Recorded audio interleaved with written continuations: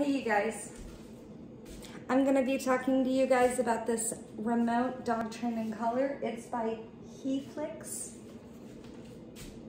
and it is a cordless remote and cordless collar that is going to be great for training and for daily activities with your dog. So I'm going to show you how it works. It comes with a C-port adapter, user manual, a quick user guide on how to remote control for three different actual devices.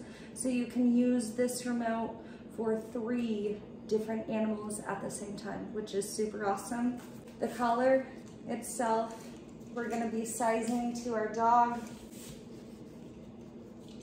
The collar itself, a C-port adapter. When you're not using it, go ahead and push that in. That makes it waterproof. And then we have the prongs that we can screw in. It has different size prongs and then we have the screws and we have the tester. So if you're going to be using the shock collar on this, um, then you want to attach these and then you have rubber safeties depending on how intense you want the shock value to be. Um, It'll explain all of that in your user manual. Very portable, tiny remote. This remote is super lightweight, so it's going to be easy to carry and be very handy. So I'm just gonna slip this through. So now I have a handle for my remote control.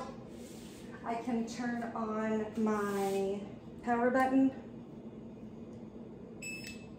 and then I can turn on my power button.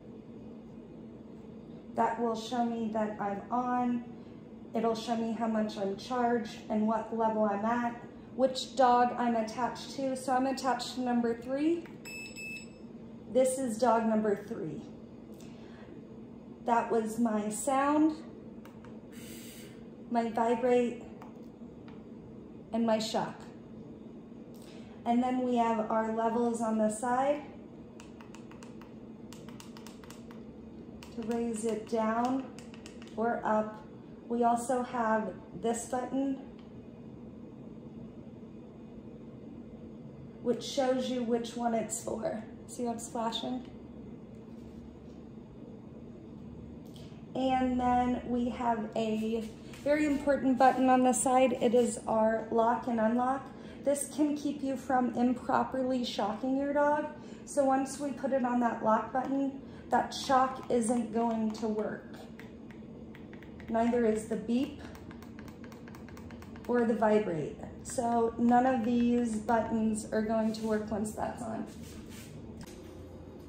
My dog absolutely loves training time. It means lots of treats and positive rewards, so she gets super excited. She is a bit of a jumper, so that's one thing we're working on.